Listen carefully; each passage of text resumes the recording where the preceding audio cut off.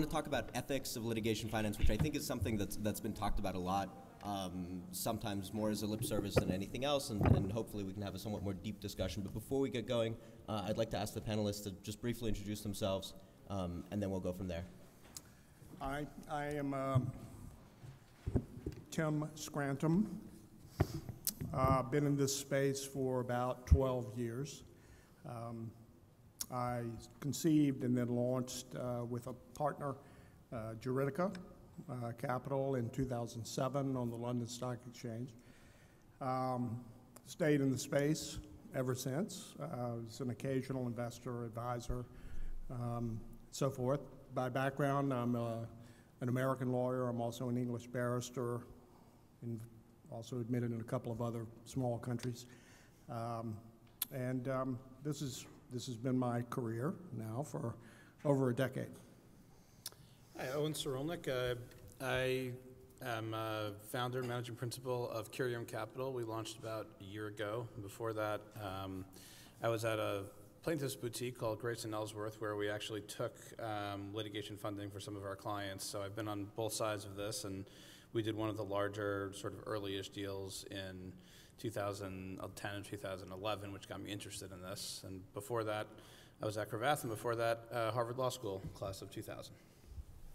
Hey, good afternoon. My name is Will Marra.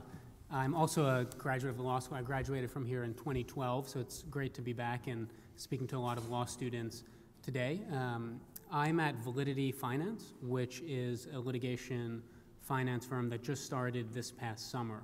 Uh, we're based in New York City, but we also have offices in uh, Chicago, Houston, and Denver. We're principally focused on commercial uh, litigation finance. Uh, before entering litigation finance, I was an attorney at Cooper and Kirk, which is a litigation firm in Washington, D.C. And before that, right after law school, I did a couple of clerkships, uh, first on the 11th Circuit and then uh, on, on the Supreme Court for Justice Alito.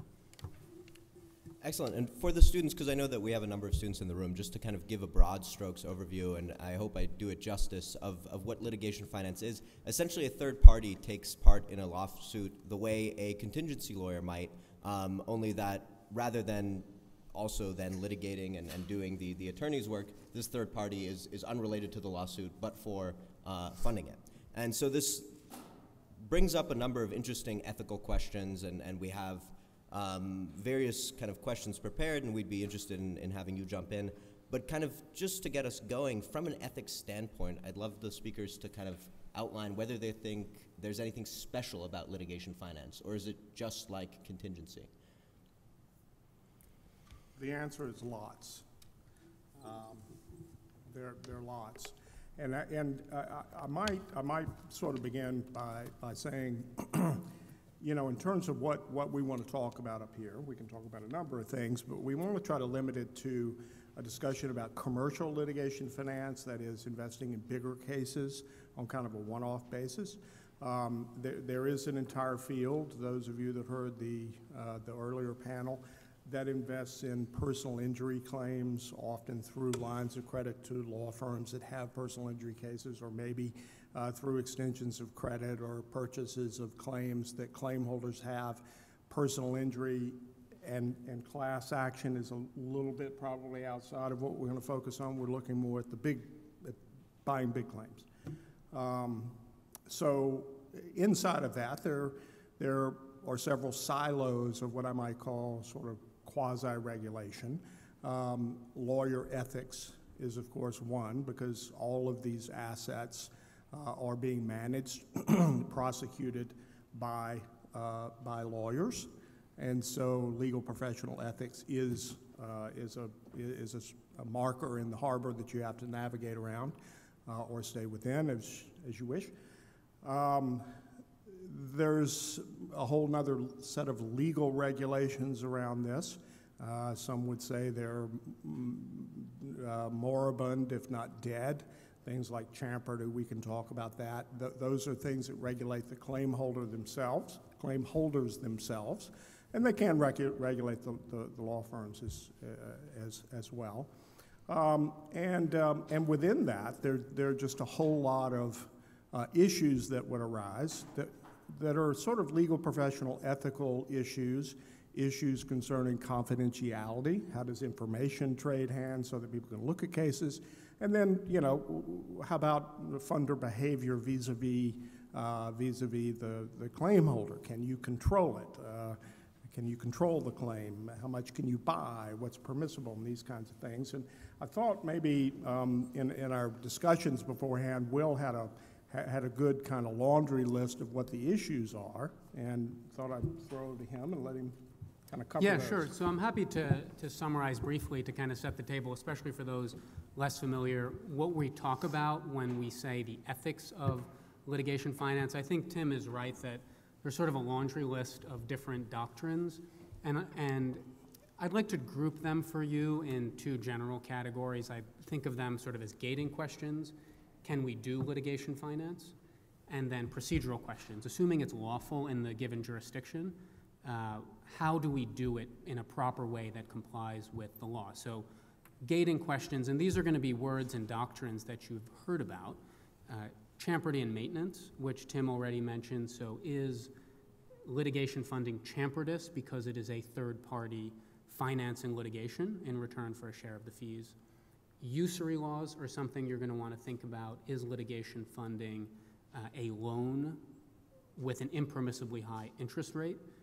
And fee sharing. There you're going to look to Model Rule 5.4, which says that lawyers cannot share legal fees with non lawyers. So those are questions where you're going to want to ask okay, is it legal to do litigation finance under those doctrines? And, and what we find today is in the majority of jurisdictions, litigation finance is perfectly lawful and legal and ethical.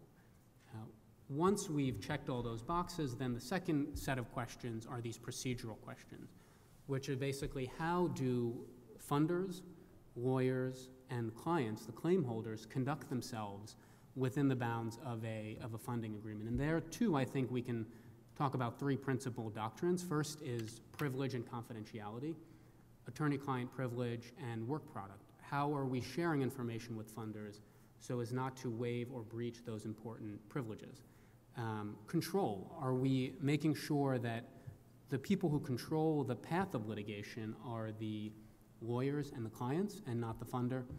And then finally is the disclosure question, is to what extent should the fact of, of funding and the details of funding be disclosed to the tribunal and to the opposing party? And I think to, to the question that was presented at the beginning, your litigation finance is certainly new, but the doctrines that we talk about are longstanding doctrines that, you know, as we learn in, in first year of law school, applying these longstanding doctrines to new, new sets of facts. Yeah, and, just to add as an overlay, the, the way I think about ethics as it relates to litigation finance is, is, a, is a little bit different in the sense that what we're, what we're doing as an industry is essentially trying to provide financing to a set of businesses that, for reasons mainly having to do with the topics that we're discussing, you know, things like champerty and maintenance and the perceptions of them and fee splitting, has, has pretty much deprived the legal industry maybe maybe uniquely um, from access to capital in the way that other businesses are able to access capital, uh, because it's very complicated to fund a law firm because you can't take a share of the profits that are coming out of that law firm. And a lot of what we're doing as an industry as we confront these topics is sort of finding ways um, to deal with some, in the modern sensibility, kind of archaic constraints on how law firms do business and how litigation is done, some of which are, are useful and important to preserving professional independence of lawyers, but some of which, as we'll see maybe when we get into some of the specifics, create kind of almost silly distinctions where you can do something one way, but if you do it another way, it's going to violate some rule of professional conduct. Um, trying to find ways to mesh the idea of providing financing um, for the businesses of law firms with some of these overlays of rules of ethics and regulation uh, that come from, from various different avenues. And I think the, the point that Owen makes is, is a very good one and points a distinction between positive law and normative law. So we can ask, is it ethical, is it legal to do litigation finance such that we comport with the ethics laws? But I think we should all be thinking about a second question in parallel with that, which is, is it ethical in the sense of is it moral, is it just to allow people who have meritorious claims, but not the capital to vindicate their legal rights to receive third, third-party funding. And I think that that question should ultimately inform our analysis of these specific, quote, ethics or legal doctrines. And, and to that point, I mean, the big question might be whether or not litigation funding increases access to justice. Um, and I, I think the answer seems to me, at least, that it can, but I wonder what it depends on. Um, and I, I don't know if you have thoughts to that piece of it. Yeah, it, it, um, I think it does.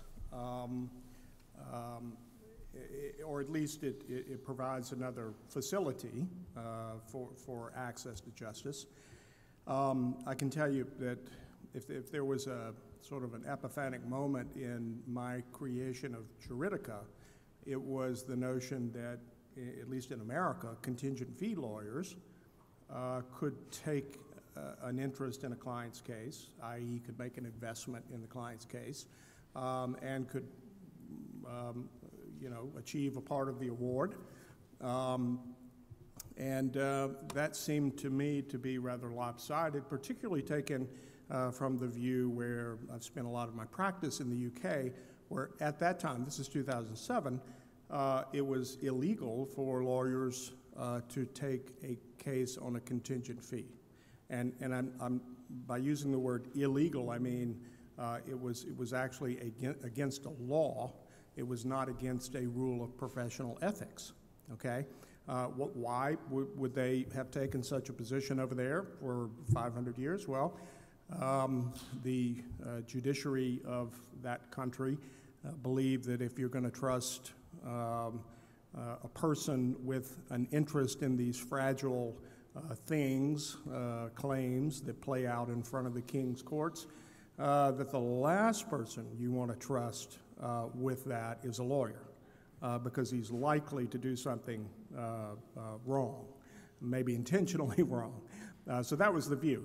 Illegal over there. Uh, in, in the U.S., contingent fees were, as you know, pervasive. I mean, they go back to Abraham Lincoln, um, who took chickens, I think, for, uh, for, for fees. Um, so, you know, it was that sort of, um, in a way, a paradox. I mean, we think of ourselves as the progeny of the English system, but we developed something that they considered illegal that was fundamental to the English system. Uh, so, contingent fees provide access to justice, and I, I- think that outside capital can improve that. Uh, the English might say, better it, um, but, uh, but certainly it's an, it's an alternative.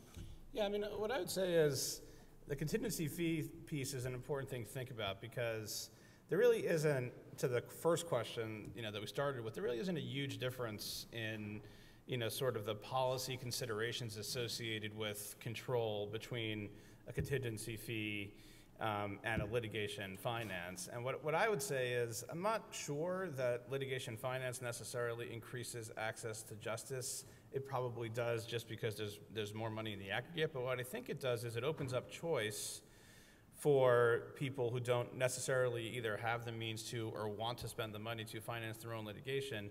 It opens up more choice in who they have as their counsel. Because what we essentially are doing is taking a class of cases that 15 years ago could only be, you could only retain a fully contingent firm, a firm that was willing to and able to and had the aptitude for fully contingent litigation and all of the baggage that comes along with that. And now you, we can we can create essentially synthetically fully contingent arrangements for almost any case where a litigation funder pays the bill, but from the client's perspective, it's fully contingent. So if you have a case you want to bring that's meritorious and has you know enough damages to justify an investment, you can hire pretty much any lawyer you want. Um, I mean, we'd ha- we've had clients from you know the AmLaw 100 law firms who are essentially trying to do this. We want to compete for a fully contingent case, and we'll do it by taking litigation financing to pay our fees, and from the client's perspective, they don't pay anything. And, and the last thing I'll add to that is,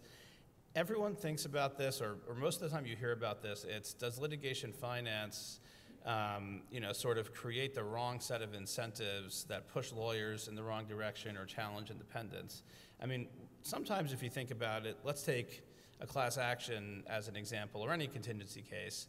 Um, if a lawyer is doing a case on a contingency, the lawyer has, by definition, an inherent conflict in certain situations, like settlement situations, where the client wants to do one thing, and the lawyer may have an opinion about the likelihood of success that it wants to give the client, but also has a significant interest in getting their own fees. And maybe the law firm is under pressure because they've been doing this case on a contingency for five years, and an immediate cash infusion would be hugely beneficial to the law firm, but not necessarily the most um, the best path for the client. That's a huge conflict that lawyers who do cases on contingency find themselves in. And to some degree, if that case were financed by a funder, you relieve the lawyer of that inherent conflict and let the lawyer give whatever advice they want to give to the client, and you sort of remove the funding an additional layer away from control because the client has control, the lawyer has a more direct access and influence over the client.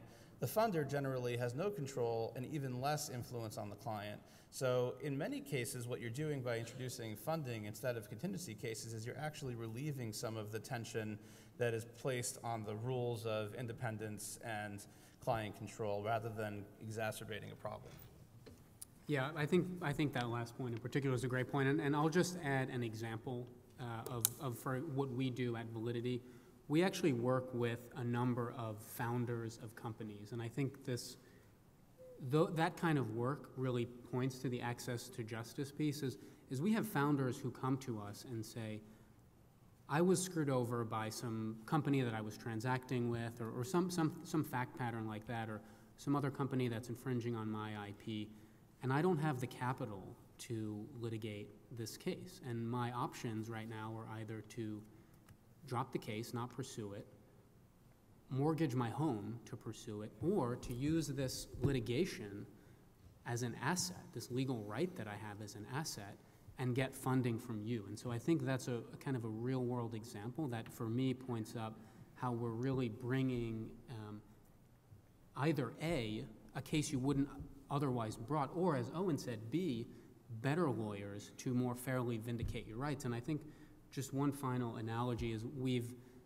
medical care is a big topic today, and we've kind of increasingly come to the realization that, hey, your medical outcomes shouldn't depend on wealth. And I think the same should hold true for legal outcomes. Your legal outcomes in a case shouldn't depend on how much money you have, it should depend on how strong your legal right is. And funding, uh, I think, helps level the playing field in those, in those situations. Let me, let me- throw something out there just uh, to maybe equalize the knowledge base in the audience. We're, we're talking about um, a couple of different kinds of transactions here. Um, And there are different rules depending on which transaction you're looking at. Uh, Let me describe briefly the sort of core fundamental uh, client-based litigation funding transaction, okay? That is the, that is a claim holder, could be a company, could be an individual. Uh, They have a claim they want to pursue.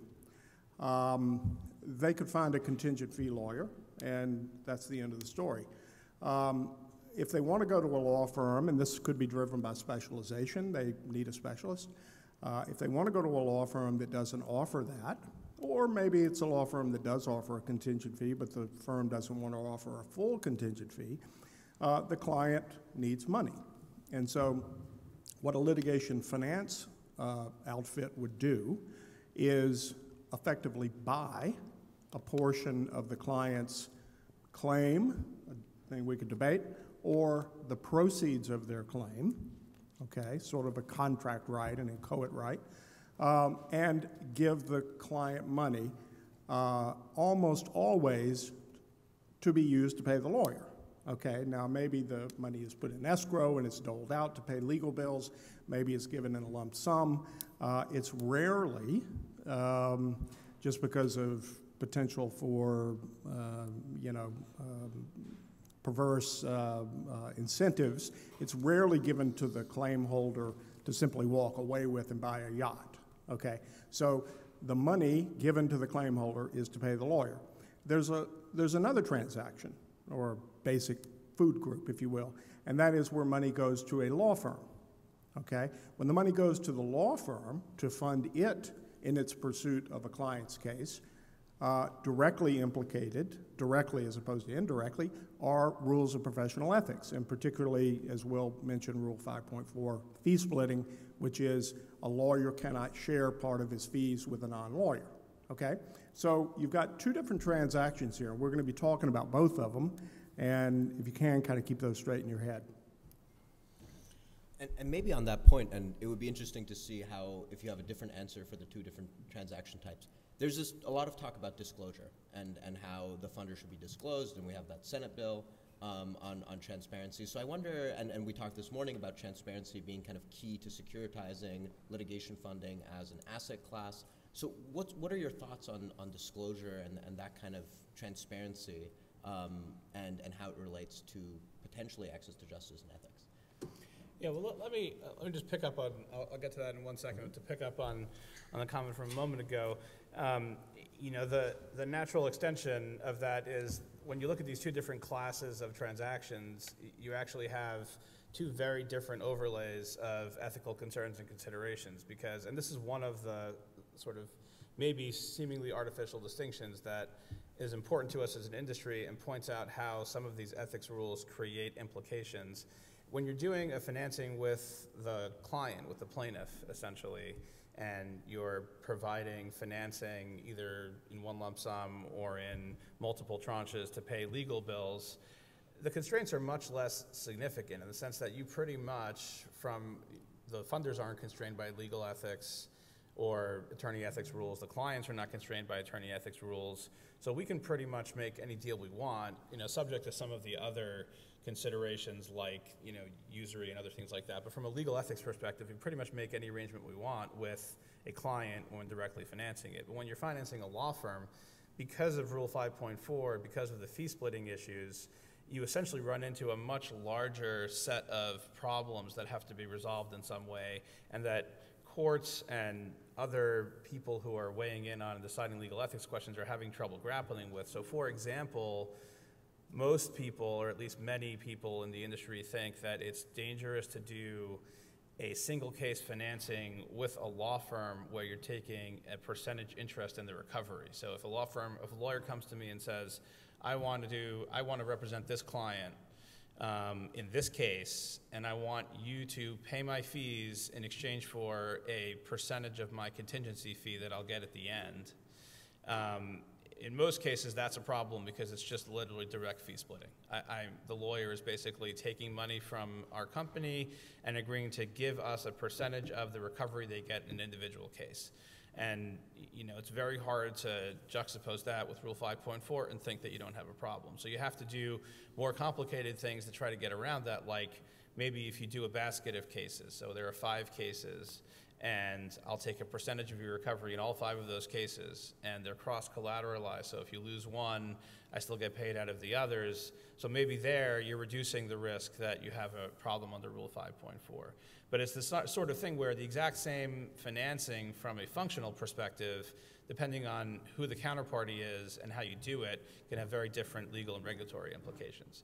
And to the, to the point about disclosure, um, I think, at least what, what our perspective is, for the most part, I don't think that disclosure of litigation finance in most cases is that much of a problem. What, what I don't think we at least would like to see is mandatory regulatory disclosure because it feels like that's creating a uh, an unfair disparity between the rules that apply, let's say, to plaintiffs and defendants when it comes to disclosing sources of capital. You don't ask a defendant to disclose whether they're financing their business uh, through a bank or whether they've taken investments, let's say it's a private company from a hedge fund, but you're asking a plaintiff from a mandatory perspective to disclose something about how they're financing their business or financing their case. I think that may be different when it comes to things like class actions or cases where courts take a more hands-on role in supervision or overseeing what's going on. But in an ordinary case, um, for the most part, I don't think people fear disclosure that much, except to the extent that it creates some sort of a sideshow of discovery into the financing arrangement, which derails the litigation. But I think regulating it is uh, maybe a, a bridge too far. So I think one interesting piece on the disclosure question, so initially the debate about litigation finance was should we totally ban this? Opponents would, would initially say that, and that ship never really left the dock. And so now we're talking about to what extent should the fact of funding and the details of funding should be disclosed. And I think one. To the court. That's right, disclosed to the court and/or the opposing party. And that's an important distinction, because you could have in-camera disclosure to the court, uh, for example, to ensure no conflict of interest, without having disclosure to the opposite party. I think one important point to keep in mind with respect to disclosure is pursuant to the discovery rules, whenever a funding agreement is actually relevant to the merits of the case, the fact of funding and the details of funding can be disclosed pursuant to a court's inherent power. That power is actually rarely utilized, even though parties seek discovery of funding pursuant to Rule 26B, because the fact of funding is usually not relevant to the case. And so what we're talking about are principally legislative efforts, often at the state level, but also at the federal level, to mandate disclosure even when it is not relevant within the meaning of the discovery rules. And if you think about it from the defendant's point of view, is there any information, put yourself in the shoes of a defense counsel, is there any information you would want more than to know two questions? First, does the plaintiff who is litigating against me have funding, yes or no? So you show not only the strength of those that have our financing, but also the weakness of those who don't. And then second, how much funding do they have? Okay, so I know you have $6 million worth of funding, and this case has been going on for two years, so you're probably all out of funding and you've given me a settlement offer. Well, I now have a huge informational advantage when talking about that, that settlement. So I think to the extent we're, we're talking about disclosure, I think it's important to keep in mind how the fact of disclosure can affect the party's uh, litigation power. Yeah, uh, for those of you who were here for the first panel this morning, uh, there was a discussion about markets in these claims, what's necessary to build markets. The issue of transparency came up, the issue of um, information asymmetries came up. Um, what does, for those of you who heard that, um, what does this uh, discussion about transparency, openness, disclosure have to do with that? In other words, there's an issue uh, that we're speaking about, the dynamics of having to disclose the issue of funding and the pricing of funding, perhaps, to the other side. Uh, there's another issue I could add to Will's list, and that is, does, does the, if the funding agreement is disclosed to the defendant, does that not permit a certain reverse engineering of what the likely settlement um, trigger is for the plaintiff? And if that's the case, that is, the defendant is getting a notion of, of the valuation that the plaintiff has put on his own case, uh, that completely distorts the entire justice system. Uh, because no one would ever want to mandate uh, that uh, somebody has to tell the other side during litigation what they're going to settle for. Uh, you might say, well, that's a good thing. But um, anyway, the, the asymmetries uh, between market disclosure and case disclosure and information flows uh, obviously are related. I mean, how can you have transparency in markets for litigation claims if you don't have transparency uh, in, in the case itself, right? In other words, you get the picture that this, this market, if you will, uh, is, is, um, is full of sort of paradoxes about who can know what, um, what information can you evaluate, what information should you be forced to uh, disclose, and so forth. And these are the issues that are being pushed in some of the state legislation that you've heard about. Another angle on, on how we could regulate this industry, kind of in an effort to make it more just or more ethical or whatnot, is to limit how much you can recoup, right? You can only get so so many percent of, of the settlement, and that is kind of in, in line with the thought that the claimant probably is being rewarded for some sort of damage, right? And so should keep the bulk of the sum. How, how does that kind of regulation, that kind of thinking, uh, resonate with you? Limitations? Limitations on what you Yeah, you can only, in, you know, buy fifteen percent. Oh. Um, Well, I mean, I, I, I think i it's an interesting theory, but in, in practice, you don't always only do funding arrangements with a straight percentage of a recovery. So I think the, the concerns about the ramifications of some rule like that would be, take a situation like, um, Will was talking about doing funding for individuals who were sort of um, harmed in their own company. They were sort of shut out of their own company. Or let's say somebody has a claim where they think they have a $15 million claim against a former employer or a company they founded that they were shut out of um, in a freeze out merger or something like that. Um, so the, the thing is, you may do a deal with somebody like that where there's a concern that maybe they would be willing to settle, let's say, for $2 million, uh, even though they their claim is worth 15 million.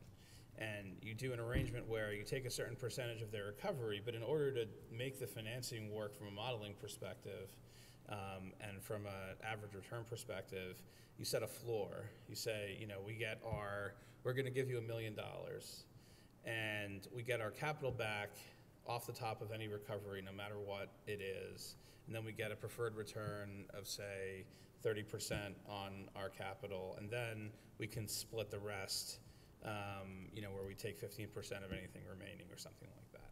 Now, if the recovery is $15 million, that all works out fine, because the total percentage that you're going to take as the funder is actually not that high as compared to a, say, contingency case.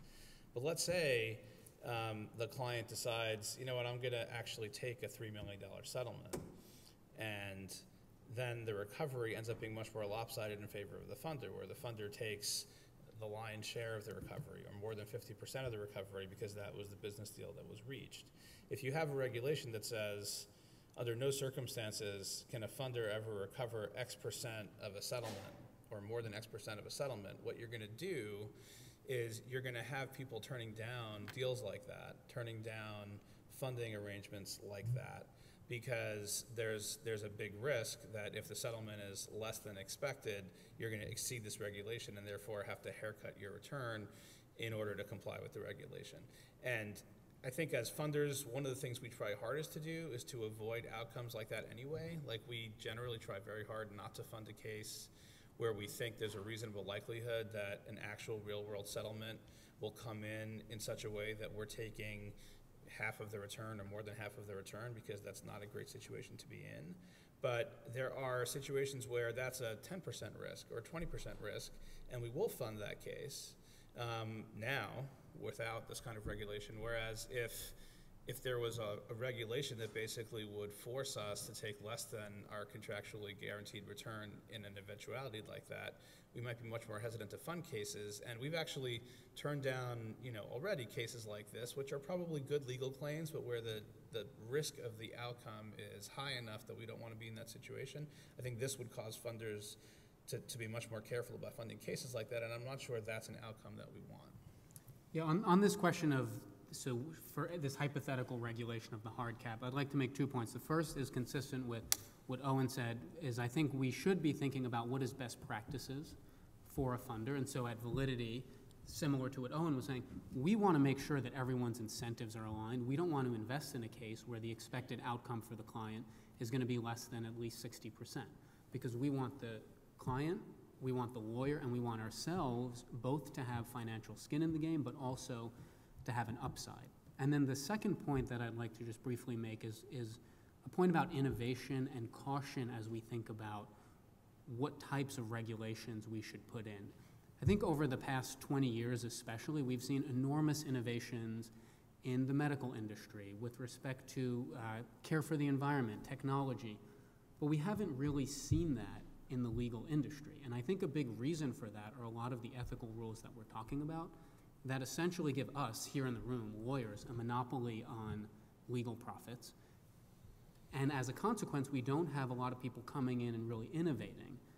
And in law school, for the, for the law students here, we're really encouraged and taught to innovate about legal doctrines and, and how should we be changing the legal doctrines to ensure access to justice. And we should be doing that, but we should also realize that there's an economic component to the law, and we should be thinking about how can we innovate different sorts of economic arrangements that increase access to justice. And my concern with the sort of regulations that are being proposed, for example, a rate cap, is we're going to stifle the innovation that, uh, you know, like Owen was saying, you might have sort of case by case situations that wouldn't fit within this package, but might otherwise be good for, for clients.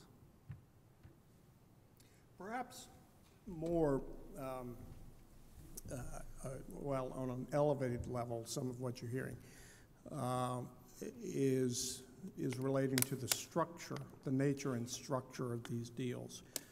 Um, I, I can tell you that we can have a spirited debate over whether, when an investor invests in litigation, is it debt? Is it equity? Is it a combination? What, what, what are your thoughts quickly on that?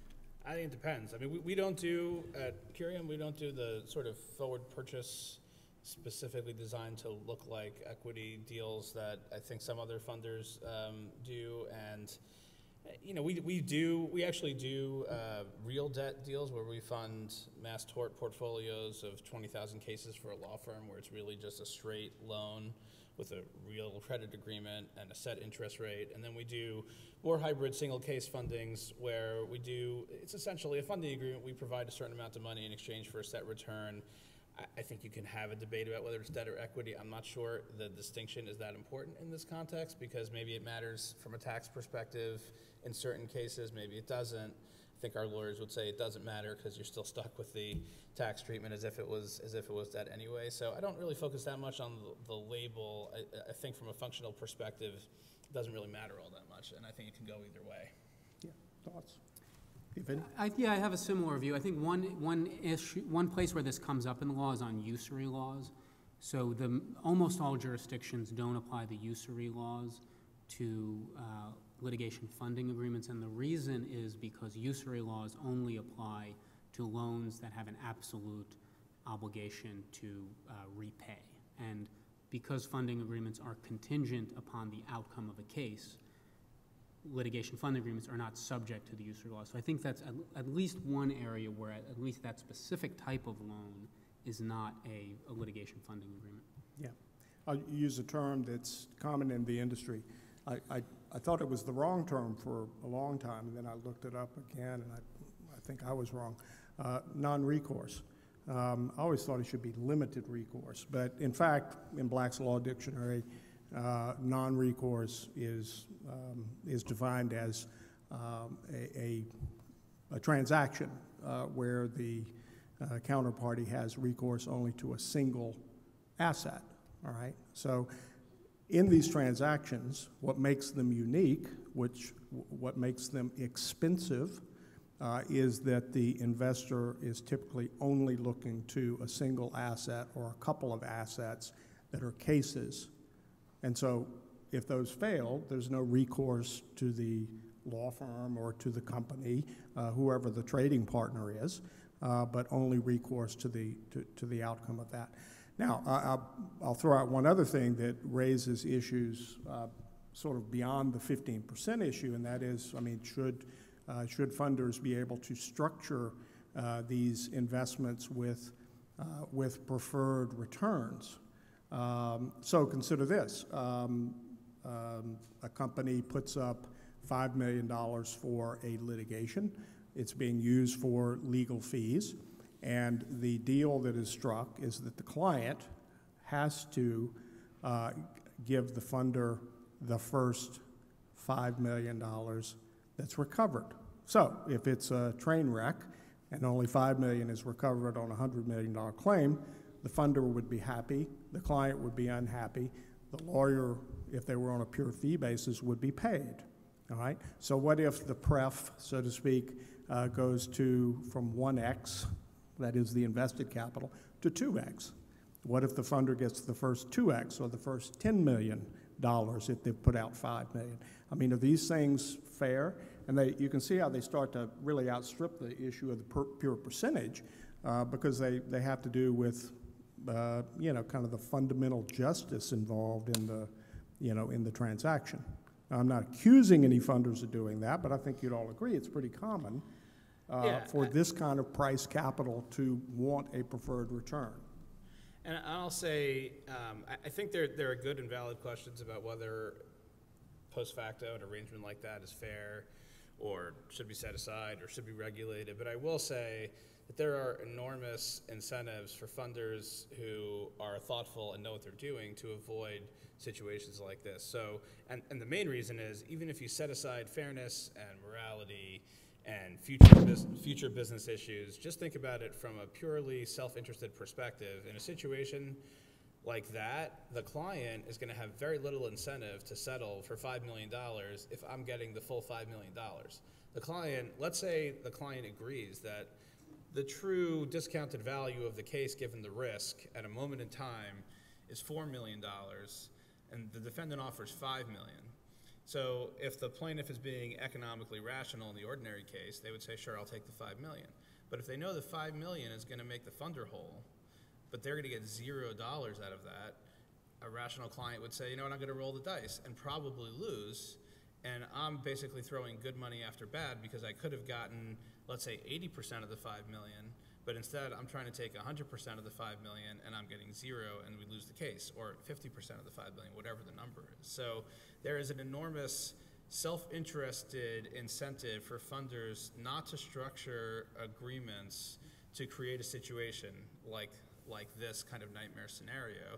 And not only is there a, an ex ante incentive for a funder to do that, but what often happens in situations like this when it occurs, and inevitably it will occur once once in a while, is to have a discussion with the client and say, with the claimant, and say, look, claimant says, I want to settle for five million, I think it's a good deal, but I'm gonna get nothing out of it, and you're gonna get five million, I can't do that, that's not in my, I'm not fulfilling my fiduciary duty, duty to my board, to my shareholders, whatever, um, to my stakeholders, can we make a deal to modify this arrangement? And most funders would say, sure, you know, I think you should take the five million dollar deal, and why don't we just agree to modify the waterfall so that you get something and we get something, and we take a deal that we think is in the best interest of the enterprise? The only thing I'll quickly add to, to those thoughts is, one question we should be asking ourselves is, do we think there's a difference in our answer, depending on whether we're in a commercial litigation funding scenario or a consumer litigation funding scenario? There's a whole bunch of areas of, of financial law and commercial law where we distinguish between commercial and consumer, and particularly where you have these very sophisticated parties with sophisticated counsel contracting, do we think that some of these concerns are, a- are a little bit less strong because people sort of know uh, and are making rational ex ante uh, decisions where we might be more suspect of that in the consumer context? I think this might be a good point to, to open it up to the audience for questions. Um, I think there's a hand there. JP, do you mind running the mic? Uh, I think there was a hand right there. Thanks.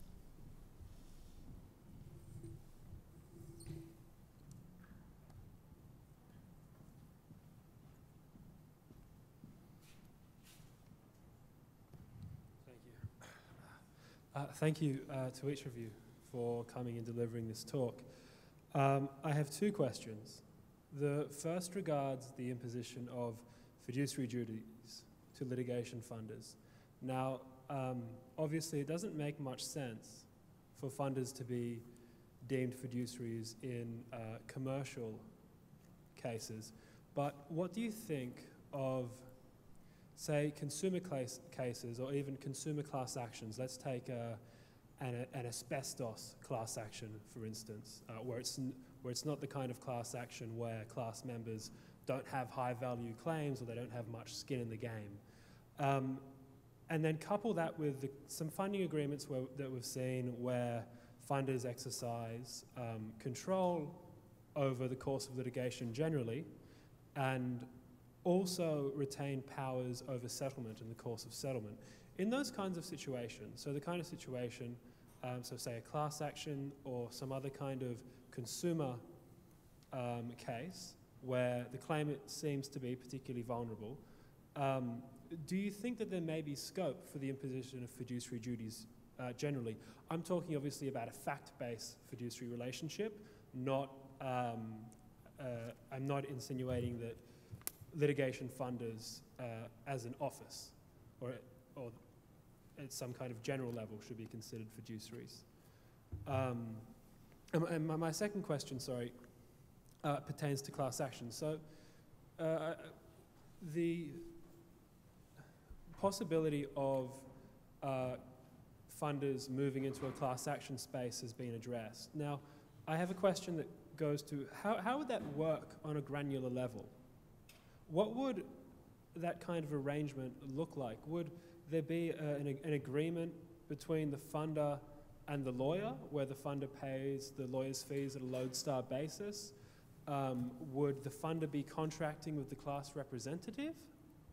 Uh, I'm, I'm, I'm just quite curious that if litigation funding were to move into class actions, how would the funding agreements be structured and who would they involve? Thanks. That was two questions. Not three. Pick the one you like the best. Uh, Maybe I'll take the fiduciary uh, issue. Um, I, you know, outside of um, the consumer space, which is the space we, we are in, we're outside of it. Um, I don't, I don't think there's any need or use for imposing special duties on funders. Um, I mean, we're talking about B2B claims. We're talking about sophisticated lawyers being involved. Um, Now, uh, On the consumer side, should there be fiduciary duties? Um, I, I think that would complicate the law significantly. Um, I, I, I don't know where such duties exist uh, in banking, payday lending, or anything else. Um, Obviously, lawyers owe fiduciary duties. And, and I could agree with you at the most fundamental level, looking at the lawyer, not the fund, not the funder. Uh, con, con, consider my basic uh, e- example.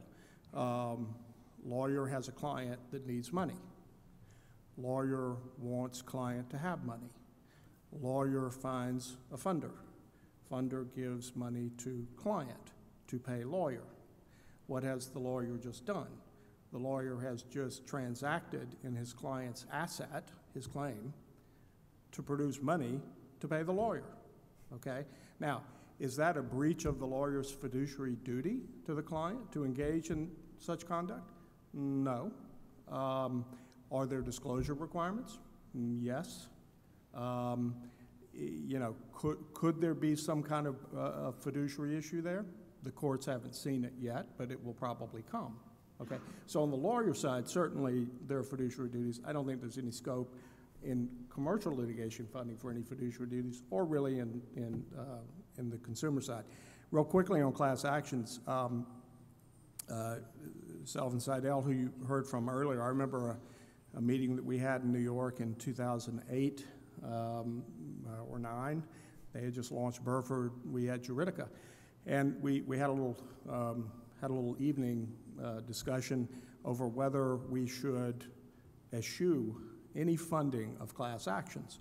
Why did we do this? Well, the U.S. Chamber of Commerce had just come out, uh, published a huge report saying litigation funding is evil. Uh, they were literally, uh, and if there's a chamber member in the audience, I'm happy to show you the transcripts. Uh, they were planning to, um, you know, run short uh, shorts at the beginning of films in major movie houses about how litigation funding was terrible. And uh, against that uh, fear, um, we considered taking a policy statement, we will not fund class actions. And uh, Selvyn was against it. I think I was kind of against it. Um, but, but the point is this. What did history teach us? Well, history taught us that funding a class action is almost a fool's errand anyway. Um, why? Because there's not a plaintiff to deal with. There's no person to transact with. Um, the only person that you could transact with is a lawyer, right? So you could loan money to the law firm. You could do some kind of a structured deal, as Owen was describing, uh, where the law firm, you know, has a basket of claims or what have you, and you make some kind of capital advance to the law firm. But basically, it's hard to fund a class action. And, and if you do fund a class action, you're faced with court supervision of all fees paid out of the class. You know, it's very, a lot of grown-up supervision, okay? So hard to get the kinds of returns that litigation funders expect in the marketplace. You cannot get three, four, five X on your money. And I can tell you when the DiNapoli firm tried to do that in the World Trade Center cleanup litigation about six years ago, the judge cut the funder down uh, to, to a very modest uh, interest level. So it's not really a danger. It's kind of a red herring, uh, I guess. Yeah, I'll just add to that. I- think, I completely agree in the current landscape and regulation framework, funding class actions is really hard. I think it's probably, aspirationally, it's probably good both for the legal system and for funders to be able to develop the ability to do this. I think the way to do it is to sort of have a legal framework that says that it's accepted or maybe even preferred, and to have, when you're applying for lead counsel, to be able to say, I'm not doing this on a contingency, but I have this funder attached, and the economics of my proposal are better than the contingency fee being offered by my competitor, and here's a disclosure of the proposed financing to the court, and the court blesses it in advance, and when they appoint that firm as lead counsel and says, okay, I'm picking you, I like the economics you're providing to the class, I accept this proposal, and sort of advan- uh, prove it in advance not to be haircut down the road. I think that's a framework that could work and probably is is, a, is to the good for everybody, but not it's not it's not in, in place right now to do that.